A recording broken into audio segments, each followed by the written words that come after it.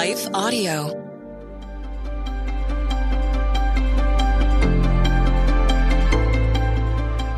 Welcome to the Crosswalk Devotional. We're glad to have you listening with us. Today's topic is finding Jesus in the Old Testament. We will return to our devotion right after a brief message from one of our sponsors.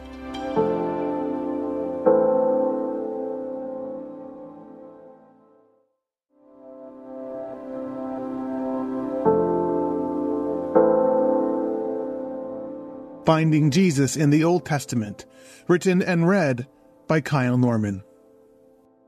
Beginning with Moses and all the prophets, Jesus interpreted to them in all the scriptures the things concerning himself.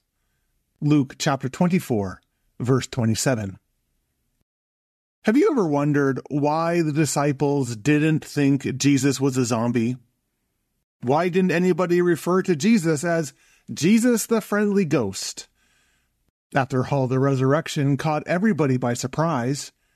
The disciples, they saw their teacher, rabbi, and friend crucified, dead and buried. And so in their mind, that was it. Jesus was dead and gone, and so were their hopes for redemption. That is, until Jesus showed up again.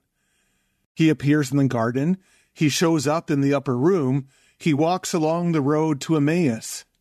And in none of those places does anybody believe Jesus to be undead, a ghost, or someone who faked his own death.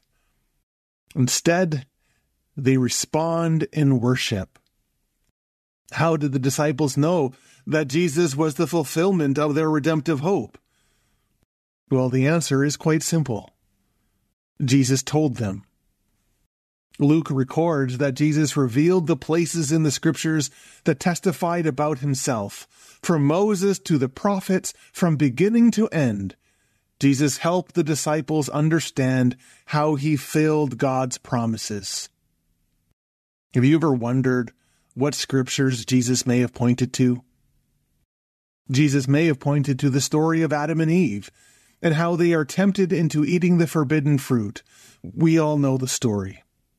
But one of the curious statements that occurs in Genesis 3 is when God addresses the snake and declares, I will put enmity between you and the woman, between your seed and hers. He will crush your head, and you will strike his heel. Here, God describes a future Savior, one born into humanity, who would come to reverse the fall of the garden.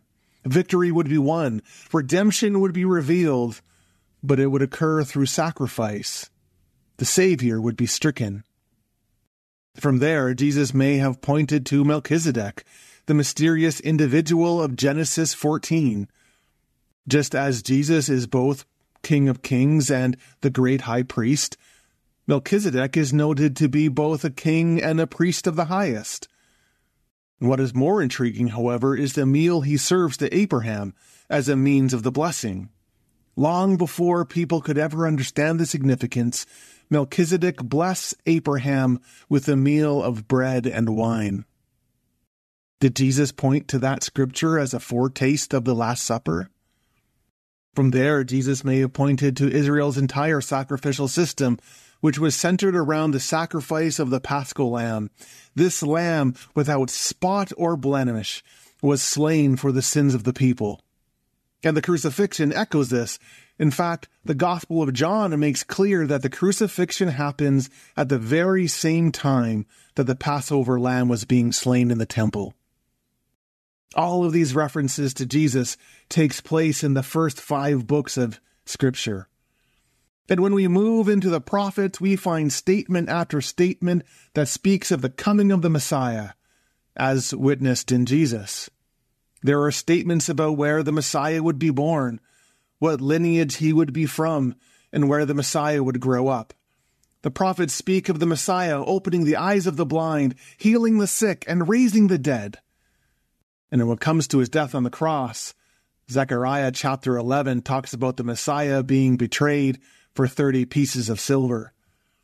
Undoubtedly, Jesus would have pointed to the suffering servant passages in Isaiah chapter 53 that describe the crucifixion and state that the Savior of the world would be pierced for our transgressions and crushed for our iniquities. But in that same chapter, Isaiah speaks of the resurrection. Isaiah 53, verse 11 says, After the suffering of his soul, he will again see the light of life, and be satisfied, and by his knowledge, my righteous servant will justify many, and he will bear their iniquities. This prophecy pictures the Messiah dying for our transgressions, having his hands and his feet pierced, rising again to new life in order to justify and save the world. Intersecting faith and life. No wonder the disciples said that their hearts were burning within them as Jesus unlocked the scriptures. The resurrection connected all the various prophecies and verses which were sprinkled throughout the Old Testament, revealing the picture of who God is and what God's plan was and what redemption looked like. And guess what? It looks like Jesus. In the end, the resurrection isn't just a dream or a fanciful wish. The resurrection isn't something the disciples just made up or that the church thought was a great story. The resurrection is the culmination of all that God had been doing throughout the ages. And when we look at the whole movement of Scripture, we see one unified story, revealing Jesus to be the fulfillment of all of God's promises. And it is this fulfillment that caused the disciples to proclaim that Jesus is Lord. May we follow their footsteps. For further reading, read Psalm 22, Isaiah chapter 53, and 10 powerful Old Testament prophecies fulfilled by Christ on crosswalk.com. The Crosswalk Devotional is a production of Life Audio and Salem Media. If you liked what you heard today, please take a second to rate and review this podcast in your favorite podcast app so that more listeners like you can find the show. For more faith filled, inspirational podcasts, visit us at lifeaudio.com.